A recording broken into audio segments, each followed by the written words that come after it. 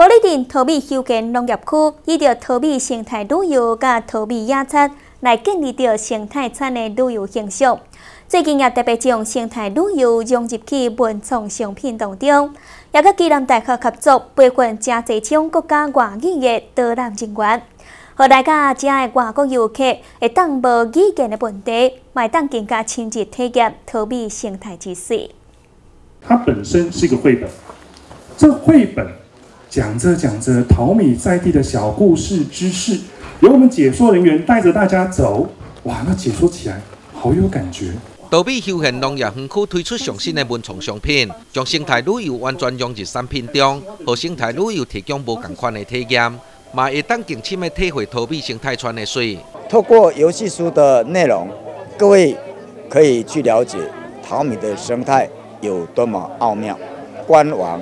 用双语来引导世界的朋友跟周边很多的产业，把它引进用。纸来做文创的产品，来做面纸的盒子，我们可以把它带回家。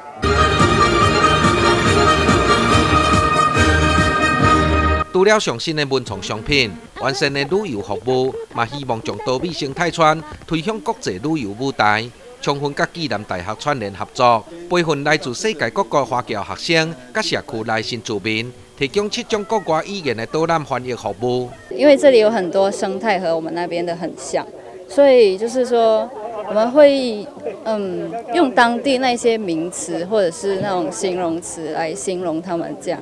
来翻译给他们听，让他们觉得有亲切感。希望说以后不要说来淘米这个地区观光的游客只仅止于我们自己台湾人而已，就是当然也是希望可以看到像啊美国的也好，英国的也好，就是一些讲英语英语系国家的人，希望可以看到他们也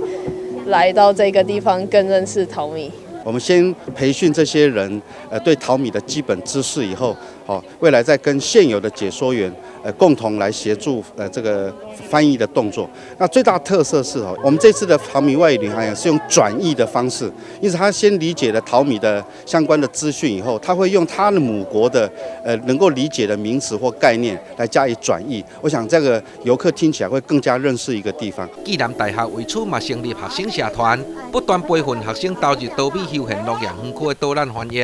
希望在国外游客愈来愈多同时，